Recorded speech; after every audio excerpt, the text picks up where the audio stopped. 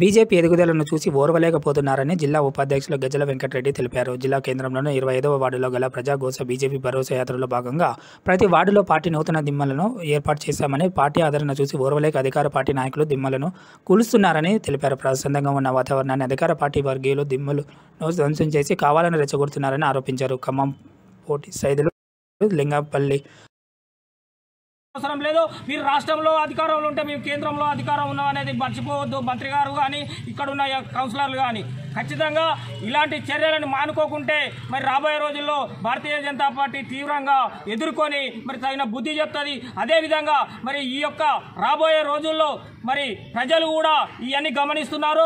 ప్రజాస్వామ్యవాదులంతా అన్ని రాజకీయ పార్టీలు కూడా మరి ఈ ఇట్లాంటి చర్యలను ఖండించాలి.